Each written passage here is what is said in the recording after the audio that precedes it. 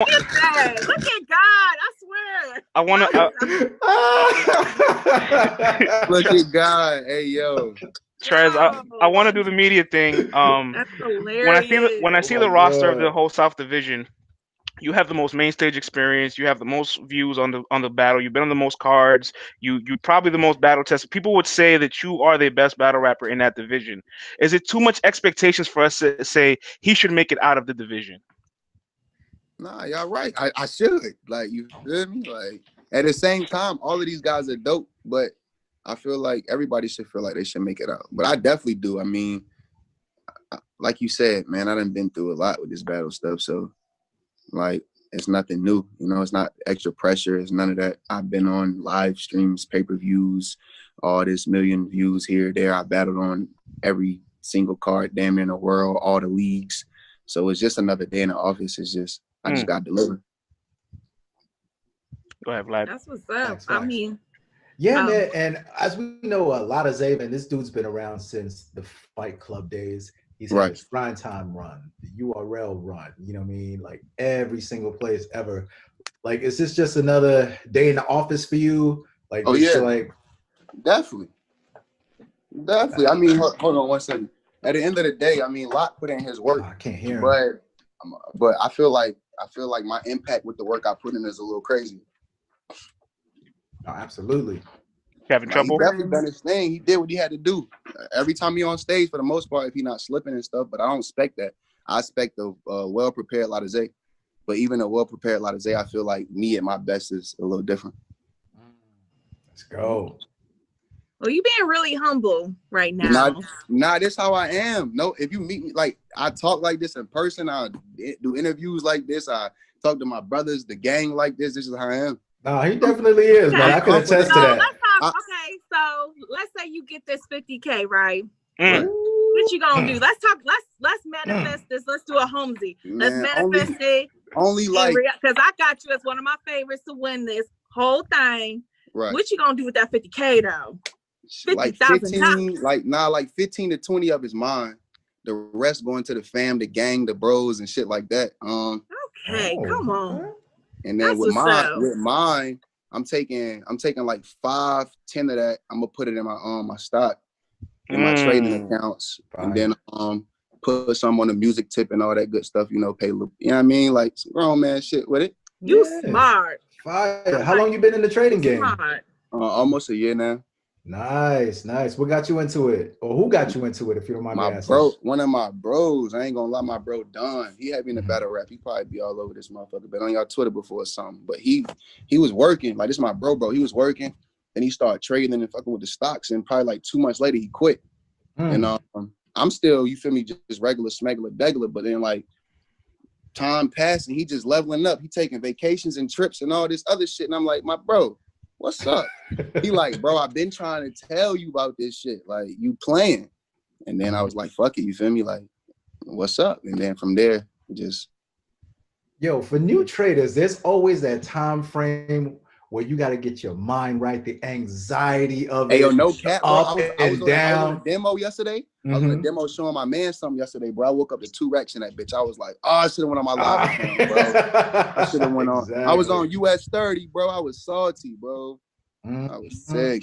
I was Oh sick. man, that's all part of the to see on game, that man. one. Yeah, you could you could lose It's it such too. an though. illegal hustle, man. Like it's so crazy. You get all the excitement of everything without any of the worries or Yeah, looking over your yeah, shoulder, it's anything wild, else that bro. comes with it, man. But But yeah, we gotta let that, people know you can though- take big L's too. So people, Oh, if no, I they ain't all lie, you win, can take big, big L's. But yeah, if I get that, if I get that 50 though, it's yeah, it, like I said, I ain't gonna have all 50 of it. Not even a little less than half, but it's gonna be in good hands. And you're in the you're in the South. You gotta buy some. You gotta buy some property out there, right? Uh, I mean,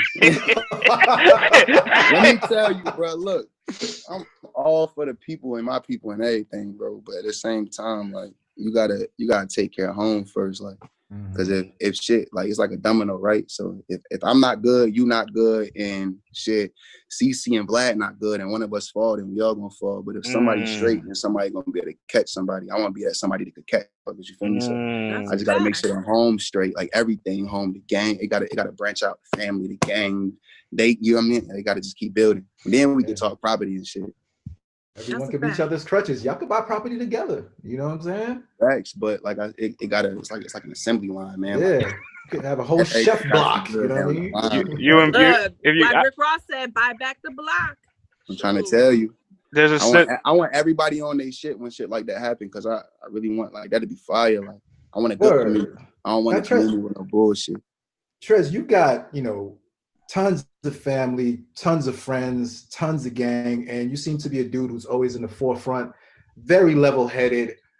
Talk to the people like, how is it being the dude that's out in the forefront that everyone knows from your community, from your set, from your family, and the responsibility that everyone puts on your shoulders? And you speaking about it now, the responsibility of making sure that everyone else is okay. As a 26 year old man, like, talk to me about what that's like having to handle of It's- that. It's it's lit and it's terrible. Mm. It's lit because it's like you feel me. It make you feel like like all right, cool. I'm a man. People respect me as a man. I don't know what it is, but like I don't really like that little boy shit. Like you feel me. Mhm. I don't like none of that shit. I like to I like to be on my grown man. I like to people to understand that as well. Like when you meet me, understand I am a grown man. I'm I'm serious about my business. Um, so it's lit, but then it's terrible because don't nobody care about how you doing for real. Mm. It's like people people they it's what you doing more than how you doing. mm, So that like that shit be bothering me because I ain't gonna lie. I'm like I'm like one of them. I be down a lot. You feel me? Like I be sad, Mm. but you'll never know because I got to keep that shit strong going. But motherfuckers don't ask how are you doing, how you feeling, shit like that when you're that person.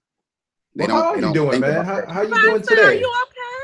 Oh yeah, yeah, nah, yeah, yeah, facts. I'm Did you saying, eat, Trez? Did you eat? Oh yeah, yeah, yeah. You got gas, but- Smoke. I'm finna smoke too, but you feel what I'm saying? It's like it got its pros and cons. Like, 'cause then people Yeah. people no longer really care about how you're doing. It's more so what you're doing. And I then it's want- like mhm. when you're not doing those things anymore, then a lot of people you don't hear from anymore. So it's like it has its pros and cons. I wanted to say when you when you mentioned that like being a strong person, I- and I, I implore everybody in the audience as well that's listening and watching this, check on your strong friends because you know they're always the ones that will check on you, and sometimes That, that, your that strong friends really be the weak ones on God. Like Mm. you know they they're the ones just waiting for that one person to ask the them how are they that shit doing. Weigh on you, bro. Like, Yeah. no cap. But yeah, how do you so get through those tough times when you feel like you know down or like things are so heavy? Um, well, shit. Honestly, for me, like 2018, when I battled Wavy, um, my little brother died that same day when I was on Yeah, stage, and then uh, you know, the next day Yeah, another yeah. uh, an- uh, another close person died, and then since then I lost my grandmother, my uncles, another close friend. Like I, I took a lot of losses, but every single one of those people, they knew what I was doing, and they motivated me to keep doing it. Mm. So just for them, like I'm gonna just keep it going.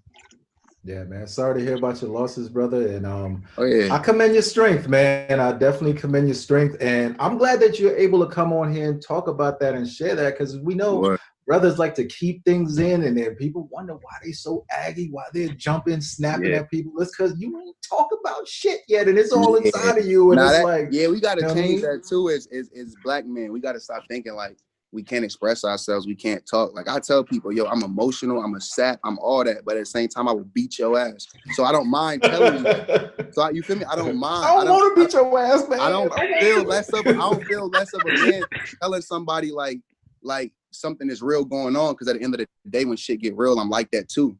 So you don't mm-hmm. have to, you know, just completely disregard something just because you're one way.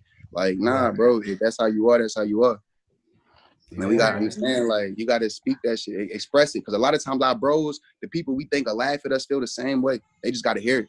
Mm. Yeah, yeah. No, that's a fact, man. You don't know how many of your friends would be going through crazy Yeah. stuff, like on the verge of being kicked out their crib, on the verge of like Everything. losing it they all. gotta- And they just smiling and chilling with you, drinking with you like nothing ever Yeah. happened. And meanwhile, everything's just dangling by a shoestring, right? everything crazy. That's a fact, and, and it happens a lot. But people don't they don't talk they don't talk about it. So everybody feel alone when the whole time they got a whole community going through it with them. They just want to express it to each other.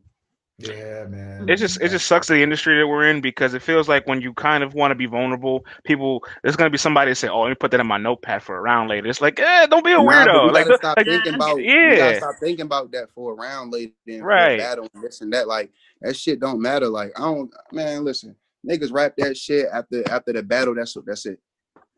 Not 99% of these niggas just there for their money and to have a good battle. They gonna say they might say some disrespectful foul shit, but it should be line set. Like it's certain shit that if somebody say to me, yeah, it's up, but Mhm. nobody crossed that line yet. I wouldn't disrespect someone to that extent. I don't do that. You feel me? So they got to stop thinking just battle rap. Like it's real life shit. If somebody want to put that in their round, and that's just they weird ass. Like Right. Now on the flip